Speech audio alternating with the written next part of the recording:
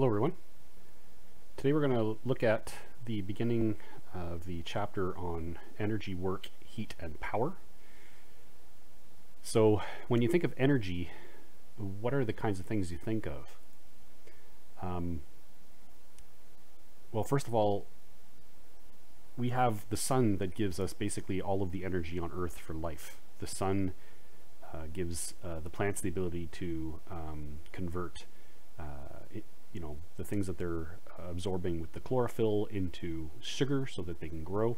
Uh, animals eat plants. we eat plants and animals. Therefore, all of that energy from the sun coming through the plants is basically coming into us and giving us the energy we need to survive.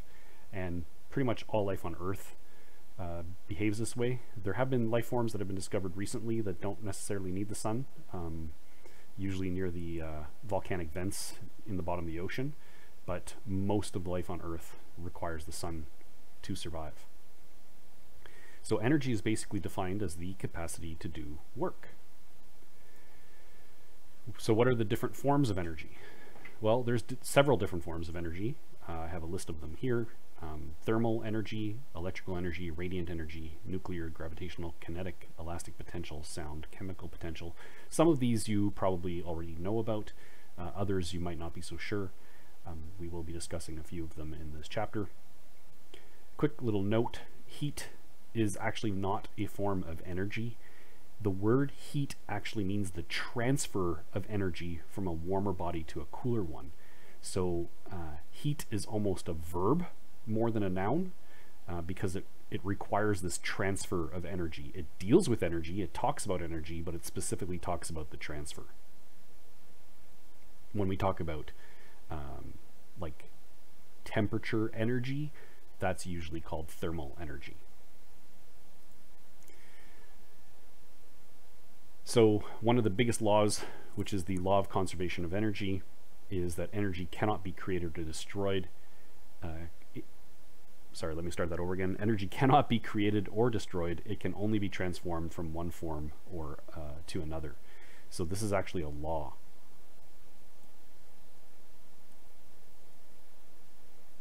Called the law of conservation of energy.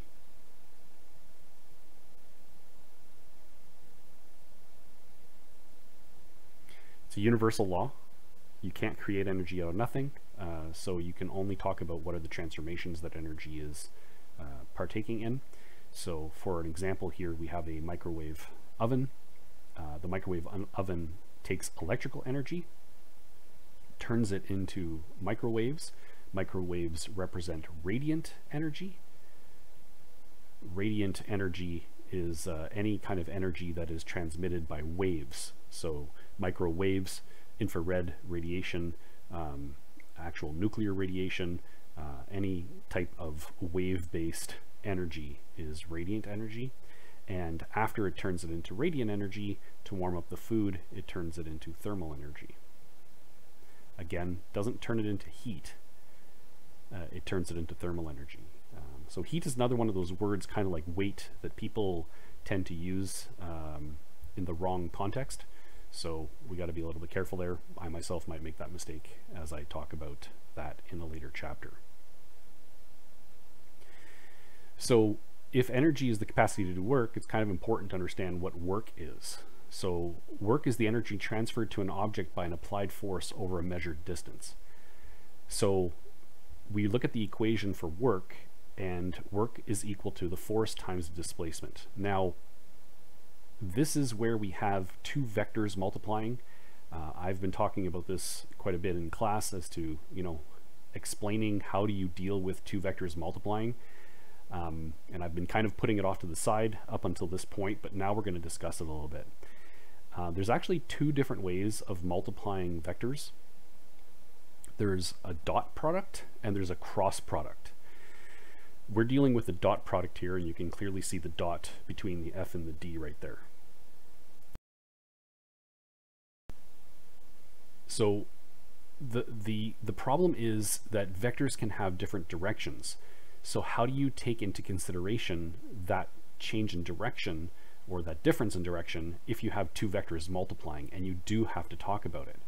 So I'm going to use work as the way to represent that. But before we get to that, I just want to give a very simple example of uh, how you would deal with this equation. So let's say I asked you how much work does it take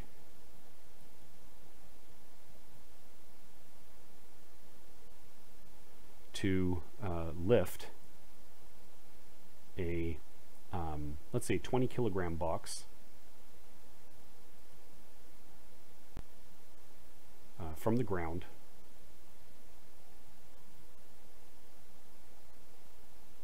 to a height of, let's say, uh, one meter. Let's say 1.2 meters, just to make it a little bit off, uh, so that the numbers don't look pretty. Sometimes it's better to do that so it doesn't look like it's always going to give really nice numbers. So how much work does it take to lift a 20 kilogram box from the ground? So we know that work is equal to the multiplication of the force vector times the displacement vector. And if we draw a quick little um, system diagram here. Uh, let's say this is our box on the ground, right? We're going to lift that box up one meter high. Uh, sorry, 1.2 meters high above the ground. And that's going to be our displacement. Uh, sorry, I'm just using D for displacement here. You can use delta D. We used to use delta D, um, but since our initial our initial position is zero, which would be we would consider to be the, the surface of the Earth, uh, d2 minus d1 is just 1.2 here, so it's easier to just use d. Um, so we're going to use this equation. Now, in this particular case, the force that we're exerting to lift the box and the displacement are both in the same direction. So the um, it, it really just becomes, in this case, a multiplication of the two. Now, as a little bit of a seed to plant in your head, the angle between these two, if they're in the same direction, is zero degrees, okay? So angle between vectors is zero degrees. So we're going to have to take into consideration the angle between the two but you're going to see, and you'll see why in a minute, but because the angle is zero degrees between the two, meaning the force and the displacement are perfectly in the same direction, we literally just put those two values right into the equation. So what is the force acting on the box that we're acting against to lift it? Um, so if you think about our free body diagrams from the past, what is the only force pulling down on the object here? It's the force of gravity. So that's the only force that we're acting against. And we're going to say that we're moving this object, so our applied force is going to be upwards here. We're going to say that we're moving this object without any acceleration. Okay, so uh, and in fact it actually doesn't matter whether there's an acceleration or not. Um, all that matters is really the initial position and the final position, but just to keep things um, you know, copacetic with what we've seen before, uh, let's just say that there's no acceleration on this box so that we don't have to deal with that and um, we are uh, we are going to add these two forces, so Fa plus Fg, which is our net force. And because there's no acceleration, this is equal to ma, but ma in this case is zero, because the acceleration is zero. And that means our applied force is equal to the negative of the force of gravity. So our applied force is the negative of mag, and we do have to use vectors here, so AG will be negative 9.8, okay? Uh, and it's a dot product with the uh, displacement, and the displacement in this case is 1.2 meters.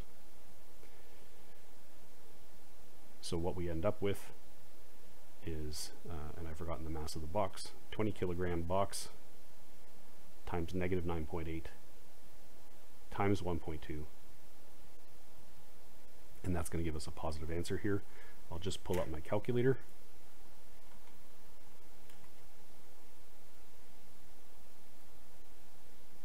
Oops.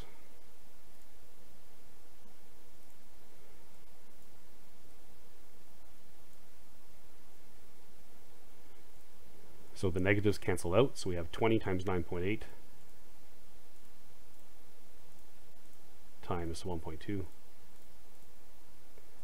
and that's going to equal 235.2 and the answer for work the unit is in joules because work is the capacity uh, sorry energy is the capacity to do work. Energy is measured in joules work is also measured in joules. So 235.2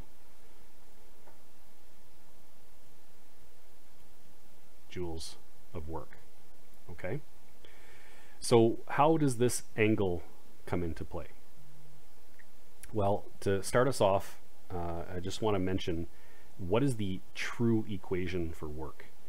So as I stated, this is the equation for work. This is called the dot product. Well, when you actually multiply two vectors with the dot product, what you do is you take the magnitude of the first vector times the magnitude of the second vector and you multiply that by cosine of theta. And you're going to say, where does that cosine theta come from? Well, I'm going to explain that in a second, but I just want to talk about the fact that if theta was zero degrees, which we said was the angle between these two vectors, what is cosine of zero? So the cosine of zero, if you do that on a calculator, sorry, I made that theta by accident. The cosine of zero is equal to one. So in this example up here, cosine of 0 is just 1, so it disappears, and you're left with just mag times 1.2. Okay? So why do we need this angle? Why do we need that cosine theta in this equation? Well, let's take a look at an example where the forces aren't, the force is not in the same direction as the displacement, such as this one here.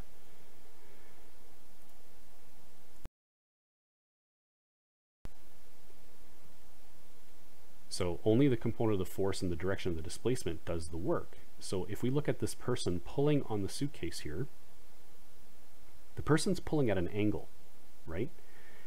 But the suitcase is rolling forwards. So technically speaking, the person is not pulling on the suitcase with the most efficient direction to maximize the amount of work that they're doing on the suitcase if they wanted to do that, they should be pulling the suitcase perfectly horizontal because that's the direction the suitcase is moving in.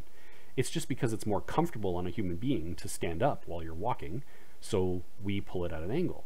Well, that means that you're not really using all the force to its best effect. And I'm going to try to show this with this picture over here. If you look at this picture, first of all, you can now see the angle between the force and the displacement that I was talking about a little bit clearer. Like when, when it's zero, I'm actually going to draw that a little bit better so it doesn't look like a full circle there.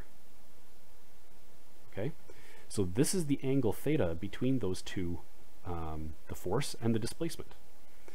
But if you take a look at the components of the force, the component that's here, let's call it fx, the component of force that's in the x direction,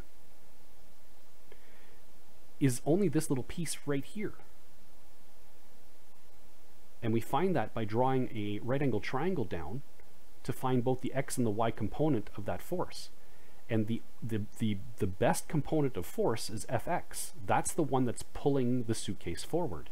The rest, the vertical component of force is actually, and we'll see this in grade 12, uh, is actually helping to, to just make sure the suitcase doesn't fall through the ground, which is kind of silly to say, but it, it's, it's actually affecting the normal force on the ground. It's making it easier for the ground to support the suitcase. But that's not pulling the suitcase forward. The only component of the force that's pulling the suitcase forward is Fx. Well, if I write the equation for Fx, if we think of trigonometry, theta is here. Which side is Fx to theta in a right angle triangle? Isn't that the adjacent side? Isn't the force the hypotenuse? So can we not say that cosine theta is equal to the adjacent side, which is fx, divided by f. And I'm going to drop the um, vector symbol here because we're just talking about the magnitude of the size of f. We're not talking about the direction at this moment. Cosine theta, when you're trying to find um, a trigonometric scenario, you don't use vectors. You just use magnitudes of, of, size, of sides. Okay? Well, let's rearrange for fx. Doesn't fx become f cosine theta? So in this question, when I would, if I was to ask you uh, to calculate the amount of work done, okay, we would write W is equal to F vector times D vector. But because it's a dot product, we have to say, well, what force is actually the one that's pointing in the direction of the displacement? Well, we would replace F by Fx times D. And now we're talking about two things that are pointing in the same direction. But Fx is F cos theta times d. So the F cos theta is the component of the force that's pointing in the direction of the displacement. And all of those things have to be pointing, um, like, sorry, I, I, I got to be careful here because there is going to be a case where they're not pointing in exactly the same direction, but you'll understand that case when I get to it. Um, they have to be like all horizontal is what I'm saying. Okay, if the displacement is horizontal, the force also has to be horizontal. Well, Fx is my horizontal force, that's F cos theta. And if we um, write that in a slightly different way, F d cos theta, that's where this cos theta on the previous slide comes from. Okay, so the magnitude of F with the vector is just F, the magnitude of the d with the vector is just d, and then you've got your cos theta that comes into play there. Now, a lot of textbooks will nowadays leave it in this form simply because it's to help students understand that the F cos theta is the component of force that's pointing in the direction of the, or horizontally with the displacement. And if you want to, you can write it like this. I have seen textbooks write it like this as well.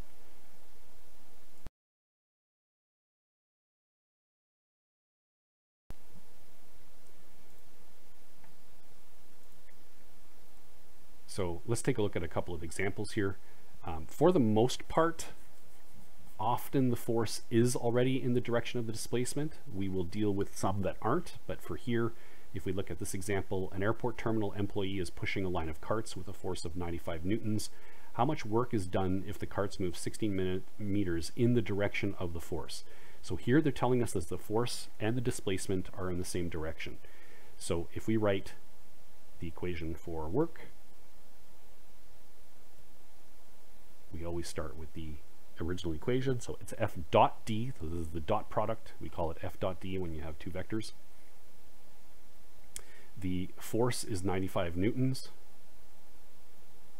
but that's 95 cosine theta. But the thing here is theta is equal to zero degrees because they're both in the same direction.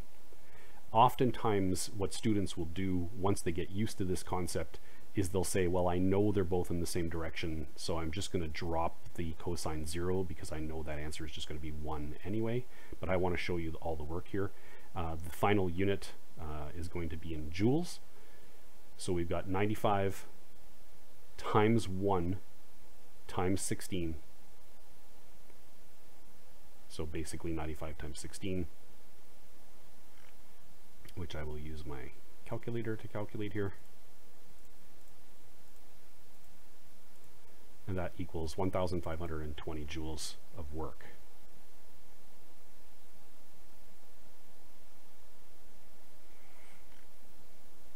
Okay. So they, these can be very simple calculations. Let's take a look at the next one. Now in this case, calculate the work on the vacuum cleaner when moved 30 meters to the right. Oh, sorry. That's supposed to be 3 meters to the right, not 30 change that right now.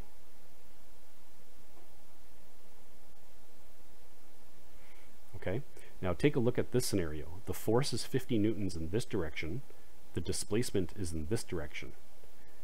They are not in the same direction. Okay, so we're going to have to um, deal with that with the cos theta. So again, work is equal to F dot D What is the force?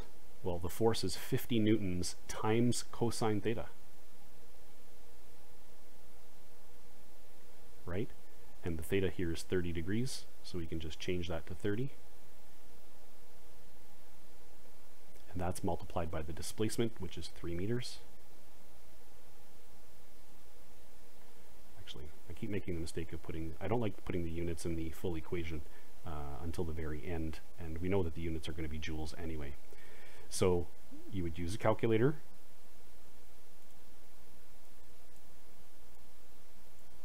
So 50 times, now this calculator I have to do some jumping around to get the trigono trigonometry to work. So it changed it to 50 times cosine theta times 3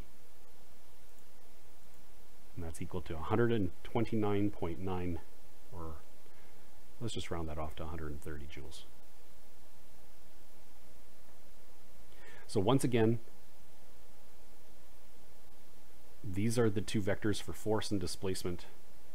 We've got 30 degrees between them. You're drawing a right angle triangle to find out what is the component of the force that is in the same direction as the displacement. And it's that component that we're interested in, but that component is f times cosine 30. So that's why you need the cosine 30 because you're multiplying two vectors that are potentially not in the same direction.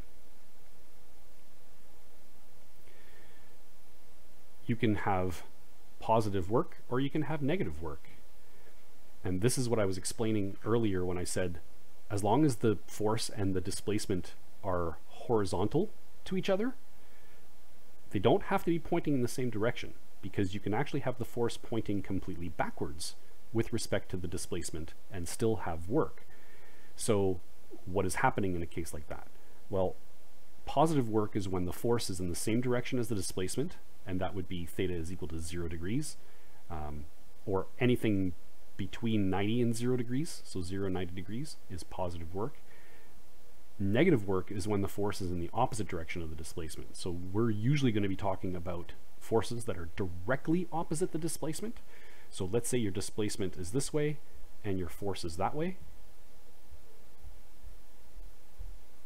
Well, what is the angle between the two vectors? It's 180 degrees. One of the forces that does this is friction.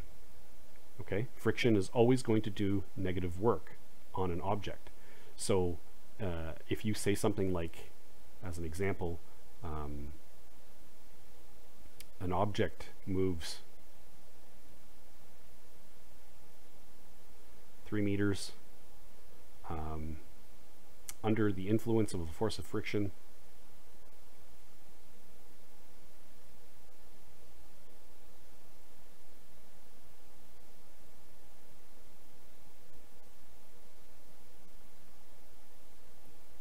uh, let's say of 10 newtons what is the work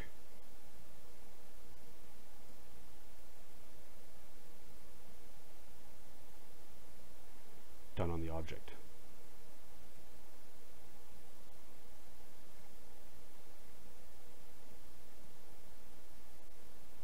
Okay, so in this case, the uh, thing that's doing the work would be like, let's say the floor, right?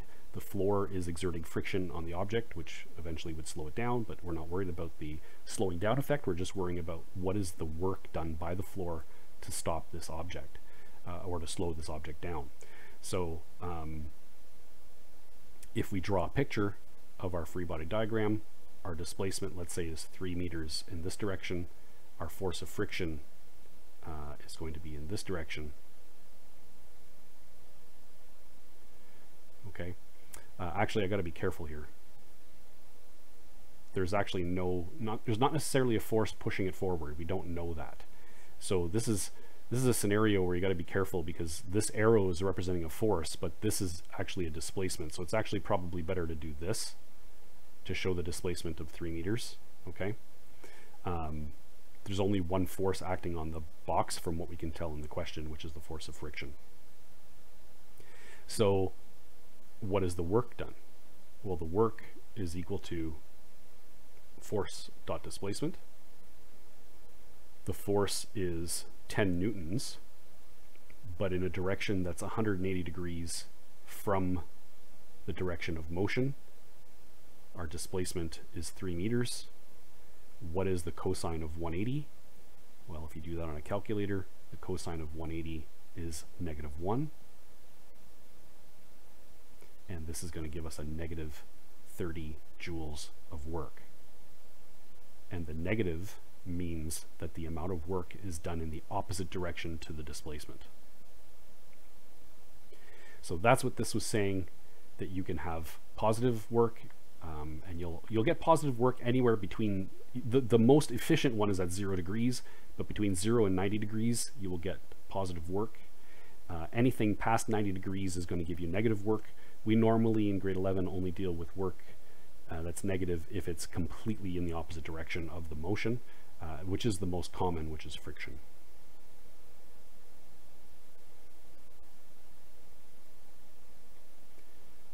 Let's look at another example.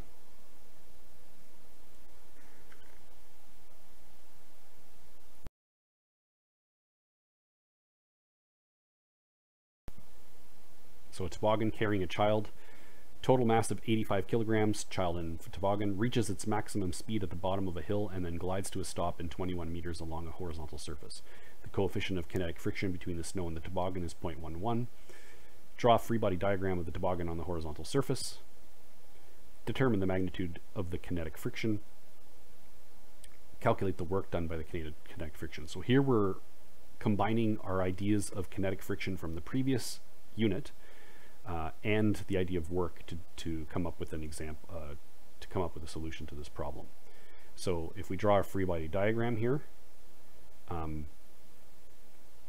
the only force after the toboggan reaches the bottom of the hill, which gravity was accelerating it down the hill, uh, once it hits the bottom of the hill, the only force acting on it again is the force of friction. So the only thing I'm going to draw here is a force backwards, we're going to say that the motion, the displacement is in this, this direction here. Okay, and we know that that displacement is 21 meters. So we want to draw a free body diagram of the toboggan. We just did that. Then we want to determine the magnitude of kinetic friction. So let's find the magnitude of kinetic friction. Uh, I'm actually going to drop the vector symbol here again. Just let's, they saw, they talked about the magnitude, so we'll just write FF and ff is mu fn. We know that fn from the previous unit uh, is uh, found by understanding that all the forces in the vertical direction are going to add up to zero because there's no um, there's no acceleration in the vertical direction. That means Fn is just mag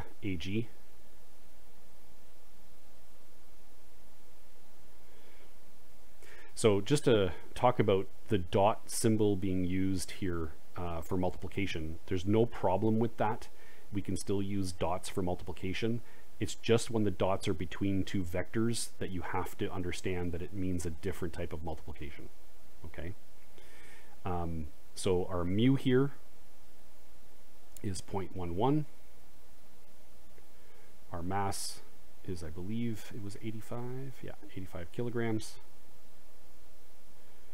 Our acceleration of gravity is 9.8.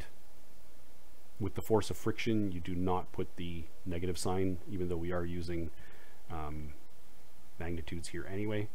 So let's pull up the calculator. We've got 0.11 times 85 times 9.8 and that gives 91.63 newtons which we could round off uh, for our um, significant digits. I'm just going to forget about that for now. And then the last thing is calculate the work done by the kinetic friction. So work is equal to F dot D, two vectors multiplying.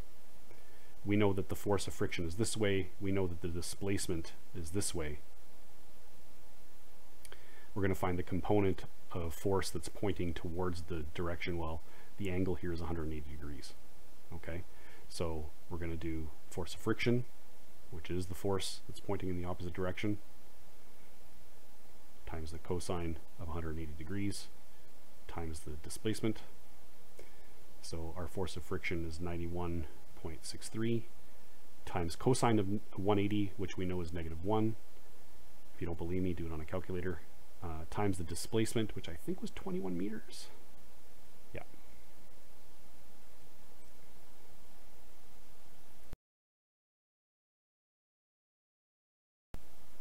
So pulling up our calculator here, 91.63 times 21 times negative 1 which is just going to make the answer negative.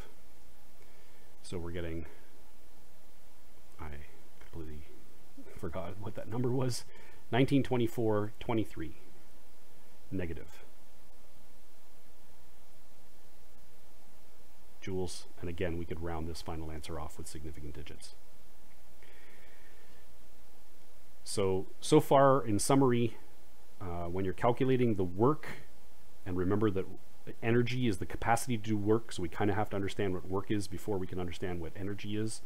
Um, work is equal to the force times displacement, and both of those are vectors. And when you have two vectors multiplying, you have to either use something called the dot product, which is what we're using here, or the cross product, which I'm going to let your uh, calculus teacher teach you if you ever take calculus. Actually, there's one more thing that we should probably discuss to complete this lesson. Um, can you have zero work? Are there situations in which um, object, an object experiences a force or a displacement, or both, yet no work is done? Um, well, if you think about, uh, I said a while ago that positive work is anything between 0 and 90 degrees, but what happens at exactly 90 degrees? Well, the cosine of 90 degrees is 0. So if you have an angle between your force and your displacement of 90 degrees, you're going to have um, zero work being done. And that would be the example down here for example three. So if you look at this skater holding up uh, their partner, um, the force exerted by the skater is perpendicular, but the movement is horizontal. So if you have a force that's upwards and a horizontal motion, the angle between the two of them is zero. Sorry, is 90. When you have an angle of 90 degrees, the cosine of 90 is zero. This person is doing no physical work on their partner. Now, they might be doing biological work. The muscles are straining. Um, there's some biological stuff going on in here, but physics-wise, no work is being done on here. So if you're standing there with a weight in your hand uh, and just holding it and you're not moving it, you have done no work uh, on that object um, because the forces, even if you're walking with it, the forces upwards, you're walking forwards, those two things are perpendicular to each other. As soon as you have a perpendicular force and displacement, you have zero work being done. Now, there's also cases where you can be exerting a force, but there's no motion, right? If you're pushing on a wall or you're pushing on a stuck car, again, you're going to get tired. There's biological work being done, but physics-wise, no work is being done on that wall because, or the stuck car, because they're not moving. There's no displacement. If there is a displacement but no force, so for instance, a puck on an air uh, hockey table, uh, then that would be another case where you would have no work. Uh, now the hockey, the puck would have to have been hit by something, but as it's moving, without being touched by anything, so no other forces on it, um, well, the only force would be upwards from the air blowing out of the hockey uh, air hockey table. Um, but that doesn't count here technically because we're talking about um, still a horizontal and a perpendicular force. But um, yeah, so there are considerations here where you got to be careful. There might be zero work done. Okay. Actually, I got this example in a book, and I'm not sure if example two makes any sense at this point. Anyway, whatever. example one and example three for sure. Um, I'm trying to think of an example where there'd be no force, but there'd still be a displacement. Um, anyway, maybe you can think of one. So that'll be it for the lesson. Um, there'll probably be some homework questions assigned, so please take a look at uh, any messages you get from the Google Classroom.